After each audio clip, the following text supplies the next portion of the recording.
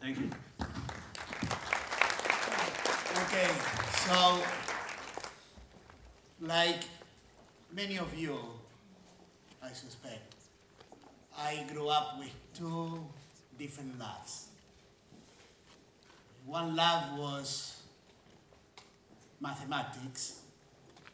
I grew up in very turbulent times in Argentina. So mathematics was pure, permanent, a theorem is forever and art, serious art. And art for me was cathartic. Now, at some point I had to bifurcate and I picked the path of the science, engineering science, and I left the art a little bit to the side. And then, step, step, step, I picked the engineering path. So, and then I became the Dean of Engineering. Even though I'm the Dean of Engineering, I lead instructions with, with that thing. Yeah. Green, okay, great. Okay, so so I inherited the school. So what I'm going to develop is just one idea. One idea, and at the end I suspect that many of you will say, I have had this idea before. I'll tell you how I developed the idea, and then I, I'll imply that the idea has more legs. Okay? So I became Dean of Engineering. I inherited a school that the fundamentals were fine, but was very isolated disconnected from the rest of campus. And I tried to develop something that was more integrated. And in order to do that, I uh, started thinking about what are the, the things that take place in the world today.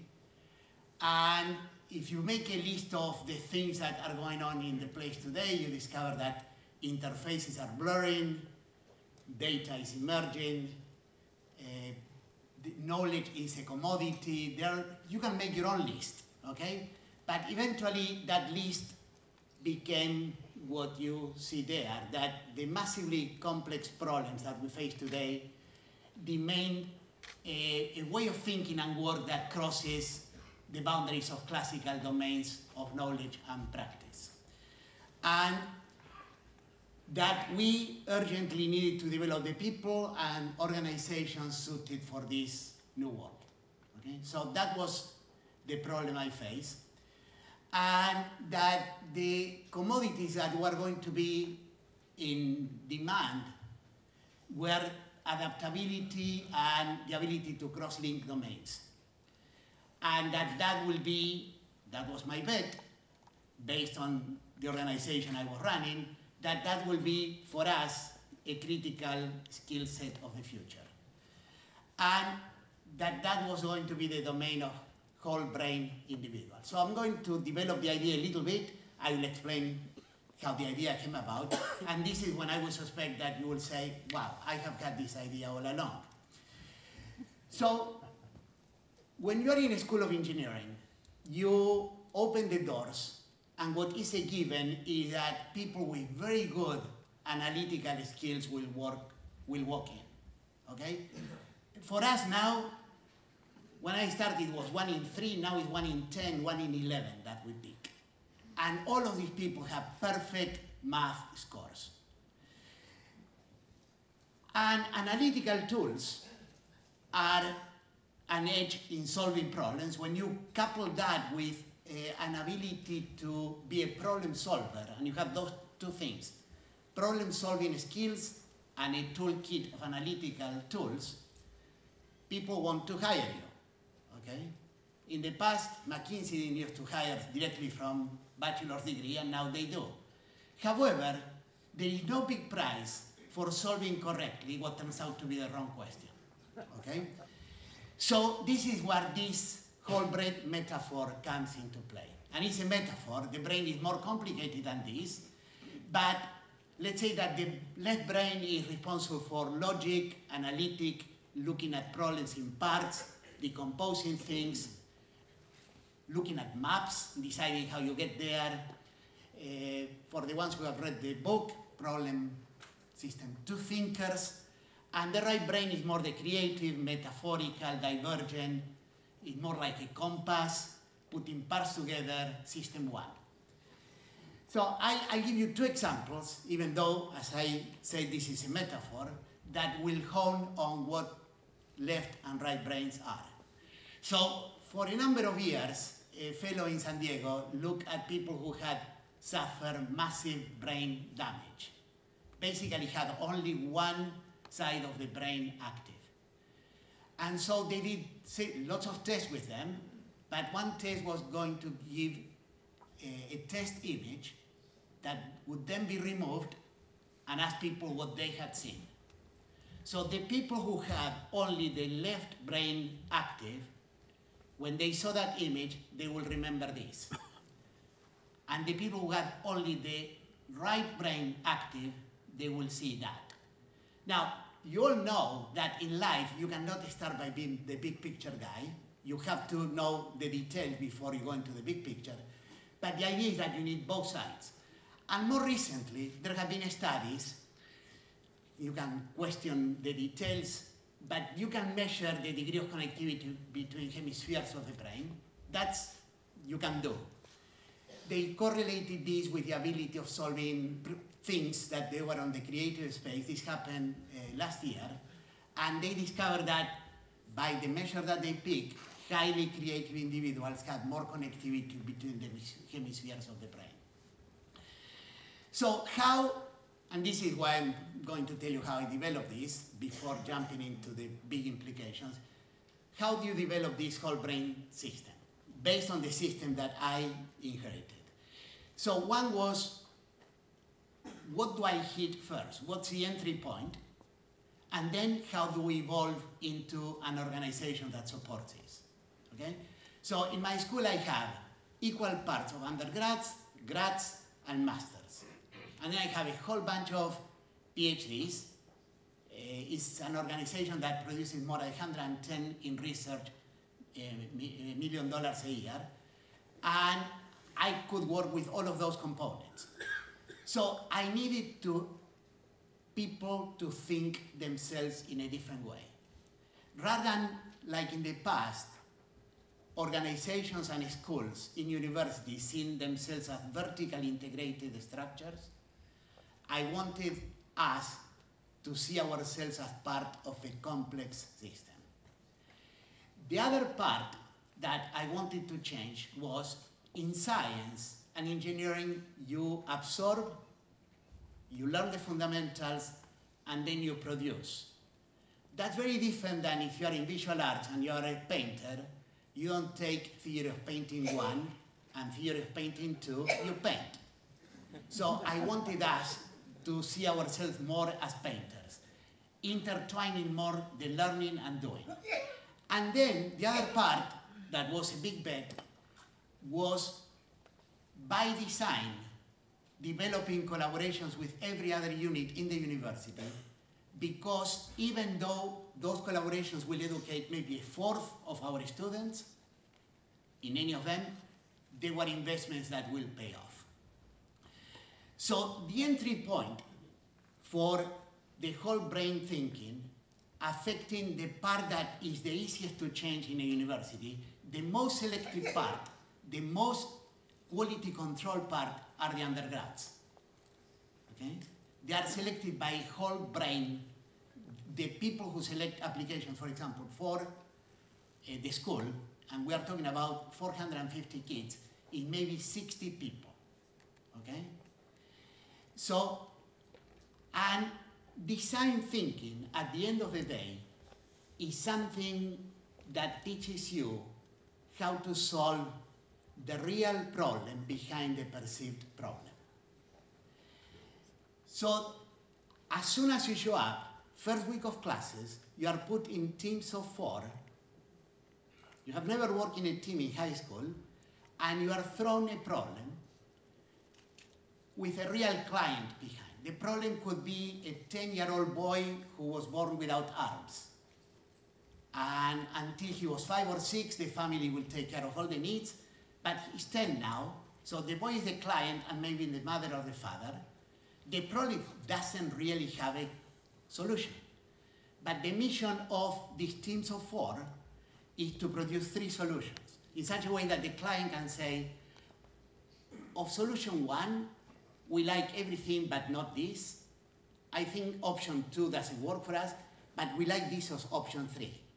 Now, the Wall Street spent a couple of days with us, and they are the ones who produce that table of what these people learn in the course. Basically, I'm benefiting from brain plasticity. If you are 18 year olds, your brain is not cross-linked. You learn this and it's a lesson for life. So the other thing that we need to see was see ourselves as part of the system. And for example, with entrepreneurship innovation, we very early founded a center. This is more than 10 years ago that spread through different parts of the university. And the same thing with design. We see design as something that educates people across the board. In fact, our mission is to present this option to every student in the university. Uh, one connection is with Kellogg. There is a program which is the most in demand now, uh, where people get a regular MBA plus a Master of Design Innovation. Uh, for people who care about this, the net promoter score of this program is 89. Okay? Then we try to develop partnerships like Dendrites with the School of the Art Institute, with Argonne, with the Ability Lab, recently renamed, which is the Rehabilitation Institute, which is the source of many of the problems that we present to these entering students. And the thing that we tried to change was to break this paradigm of consume, produce. So we tried to intertwine experiences of learning and doing and cross-linking populations that for many of you who may have done uh, something in Kellogg or in some other school, uh, now it's common to see programs that you will see students in a course that are undergrads mixed with MBAs. Uh, we developed a whole suite of courses. Uh, the first one was something called NUvention Medical. It's the most regimented, the most legislated, more Soviet-like. The other ones are very free market. This is Soviet-like because by design is two students from engineering, two from Kellogg, two from the law school, and two from the medical school. The team of eight as a whole goes into the hospital, shadows a surgeon, and they have to come with an idea that represents an innovation in that space. Every one of these courses has someone who has practiced in that domain. In this case, the fellow uh, who runs the course is a fellow named Pete McNerney, who happens to be the brother of Jim McNerney. Is someone who made a reputation in the medical device business. Very, very expensive courses to run, very complex courses to run. But like that, there is innovation energy. Maybe there's a third of the students are engineering, maybe a third are Kellogg. But they are all mixing all of these populations. One course that mixed uh, computer science and journalism gave rise to things that a company now called narrative science emerged from that thing. And then we wanted to allow for organic growth. I'm, I'm, giving you a sense of different parts of the network. And one part was what, what students do when they can do whatever they want, okay? So I had a name, and then I needed people to make the name a reality, and the name was something called Design for America. It started here in Northwestern, and then from word to mouth, has expanded to nearly 40 studios in the US. These are students from all parts of the university who solve problems that have some part of social component to it, okay? So, but beyond these whole brain individuals, I mean, if I wanted to connect the system, I had to start with people who connect the system. Eventually, you start looking back and you realize that you have built a whole brain organization. Okay? And a whole brain organization, I see it as something that makes judgments and decisions. Now, Rob wanted something about cognitive biases, so I mentioned one thing here. And my sales pitch is that by having an organization that is more whole brain, as opposed to being left or right brain dominated, you diminish cognitive biases. Uh, I made a reference to this, but you can make your own list of cognitive biases, uh, especially on the system one side of things, if you are one way or the other one. And there are examples galore of people who have felt prey to biases, even though they are the best thinkers that you can possibly think of in a given field. I like this report from an internal group uh, in the IMF, okay, the Independent Evaluation Office, because they were ruthless with themselves. They, they, how on earth this organization, populated by the brightest economies in the world, failed to recognize an impending economic crisis. And what they attribute that is to a sort of monodispersed talents uh, and groupthink. Okay? But I want to leave you with two things. I could mention several things, but two things that, in my view, are a good consequence of these whole brain organizations. One is complementarity. Okay? Complementarity as a term, and you, if you Google this, you'll find it as the principle of complementarity, is something that emerged from quantum mechanics. Niels Bohr is the one who finally said, this is the way things are, and applies to many things, but the classical example is light. Is light a wave or is light a particle? Light travels as a wave, but interacts with matter as a particle. And basically, Niels Bohr from the Danish school, the Copenhagen school, said it's both. Now, this brings to mind the F. Scott Fitzgerald dictum of the mark of a first-rate intellect is the ability to hold two opposing principles and still be able to function. And I will go further, is not still be able to function, is thriving because you are able to hold both at the same time. So I see art and science as one of those dichotomies, but we heard many presentations in here that alluded to discipline and imagination, or data and people, rationality and intuition. So I think complementarity, I don't want to blow this out of proportion, is one of the things that should be embraced more fully by all of us. The other thing is this. So I'm showing here some lithographs by Picasso. It's clearly bull, and there you have it. But I went kind of fast on this, because if you actually look at the date at the bottom left in the picture, I show them in the opposite order. This is the way that Picasso did it. And this was the last one. Now, the ability of going from complex to simple, and from simple to complex, and the ability of knowing yourself what you are good at, and be able to do both, I think is probably the best example of a balanced brain. Some people can see lots of disconnected data and finally abstract the picture that unifies all of it.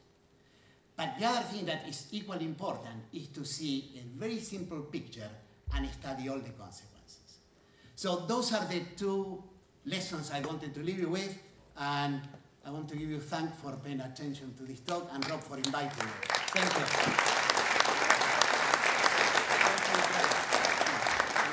I, I, should share with everyone that not only is uh, was Julio interested in the art, in art and the arts in general, he's also a painter, and continues to paint today, and this comes through in his, his passion and his discipline.